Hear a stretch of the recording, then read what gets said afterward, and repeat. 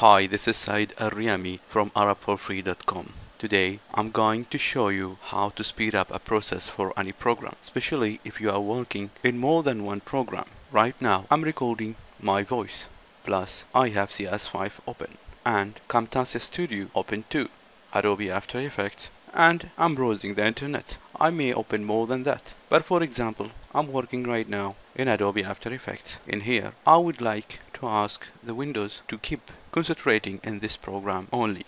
So what I have to do is go right click in the bar outside. Then number two, start task manager. In number three, find the program.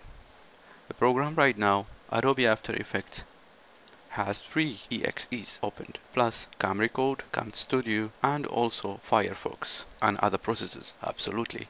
Right now, I'm going to ask Windows 7 to keep concentrating. First of all, right click and the exe file, set priority, then choose high. Usually it's set on normal, but keep it high. Then go for the next one, high, and for the last one, high. In this way, now you have uh, asked Windows 7 to concentrate and book the power for Adobe After Effects.